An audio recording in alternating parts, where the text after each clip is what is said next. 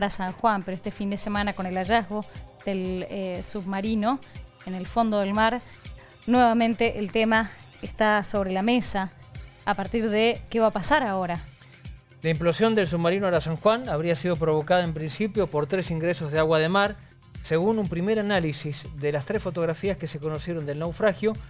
y el buque habría chocado con la proa en el fondo del mar. Este es el primer análisis que arrojan las fotografías, la hipótesis más probable de la causa del accidente que va a estar incluida en el informe que tres expertos submarinistas van a entregarle al ministro de Defensa Aguad supone que durante la tormenta del 14 de noviembre ingresó agua a las baterías de proa por la válvula ECO 19 y esto provocó un principio de incendio. El comandante del buque, Pedro Fernández, ordenó luego ir a un plano profundo 40 metros y después, por una chispa,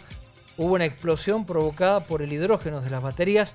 que mató o neutralizó a la mayoría de los 44 héroes. Luego el submarino se fue a pique, implosionó a los 468 metros de profundidad con una energía equivalente a 2.500 a 2.000 kilos de TNT y 20 minutos más tarde chocó contra el fondo del mar donde fue hallado a 907 metros de profundidad.